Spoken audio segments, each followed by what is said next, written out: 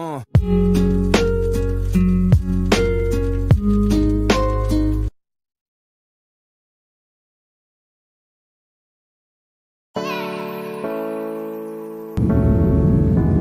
ہاں جی تو آج میرا خواب پورا ہو گیا آن دا وے ٹو بارسلونا ویسے ضرورت تو نہیں تھی اس مومنٹ کو کیپچر کرنے کی، لیکن سوچا، چلو تھوڑی شوقی مار لوں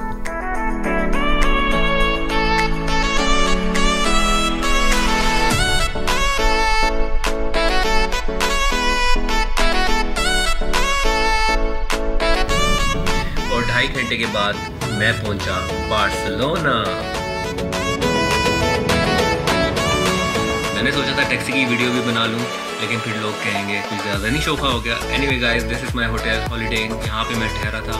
بہت زبردست hotel five star hotel. With reasonable packages اگر کسی کو کوئی انفارمیشن چاہیے تو وہ میسج سو گائز میرا پہلا ڈیسٹینیشن بارسلونا کا ساگرادہ فیملیا بہت سنا تھا اس کے بارے میں، آج یہاں آ بھی گئے ہم، اور بہت خوبصورت جگہ ہے۔ ابھی میں چرچ کے باہر کھڑا ہوں۔ ابھی تھوڑی دیر بعد ویڈیو میں مجھے چرچ کے اندر بھی دیکھ لیں گے۔ اور اس کے بعد پھر میں چرچ سے باہر چلا جاؤں گا۔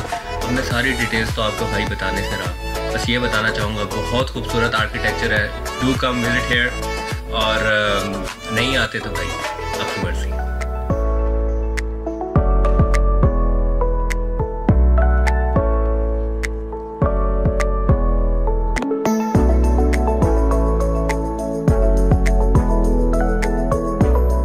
اور کے اندر میں گھوم رہا تھا اور تھوڑے دیر بعد مجھے احساس ہو ہو امی کو تھوڑا ویڈیو کال کر کے دکھائی دو لیکن اچانک سے یاد آیا، یہ تو فون نہیں آڈیو گائیڈڈ ریموٹ ہے۔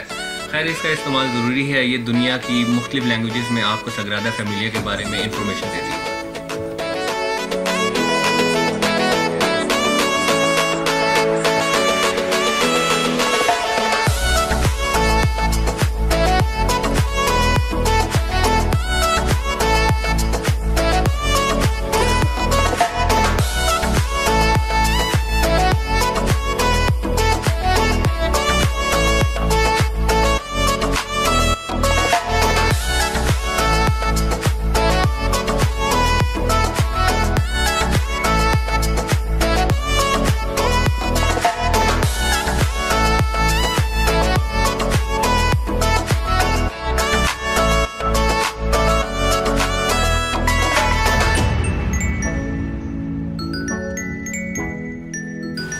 لو جی ہم آگے ہیں اپنی دوسری ڈیسٹینیشن پہ، جس کا نام ہے میجک فاؤنٹین بہت خوبصورت جگہ ہے دیکھنے کے لیے۔ ویسے اگر آپ نے نہانا ہے تو نہا لیں، لیکن میں صرف ریکمینڈ کروں گا دیکھنے کے لیے آئے تو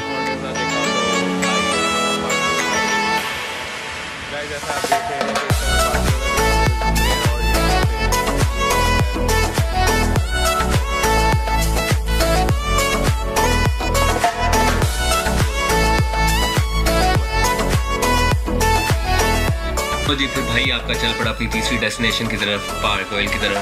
ٹوٹی پوٹی اسپینش میں دل کیا کہ چچا کو تھوڑا سا تعلق ان سے نقشہ پوچھ انہوں نے اگنور مارنا شروع کر دیا۔ خیر آخر کار ہم پارک آئل پہنچ ہی گئے۔ جیسا کہ آپ دیکھ رہے ہیں، بہت ہی خوبصورت جگہ ہے۔ زبردست انٹیریئر ہے۔ دل کرتا ہے کہ بس یہاں پہ آ کے انسان رک جائے۔ خوبصورت دیواروں کو دیکھیں، بادلوں کو دیکھیں۔ کیا خوبصورت ٹریک ہے۔ بہت ہی زبردست جگہ گائز ڈو کم ہیئر اور ایک اور خاص بات اس کی اس کی جو ایک اندر مین پوائنٹ ہے، وہاں سے آپ کو پورا بارسلونا نظر آتا ہے، جیسا کہ اب آپ اس ویڈیو کے اندر تھوڑا سا دیکھیں گے، پورے بارسلونا کا آپ کو ویو نظر آتا ہے۔ خیر، یہ تھا میرا ایک چھوٹا سا بارسلونا کا سفر۔ آئی ہوپ آپ کو یہ ویڈیو پسند آئی ہوگی۔ چلو، یہیں پہ اس ولاگ کو ختم کرتے ہیں۔ Thank you guys do like it subscribe and share this video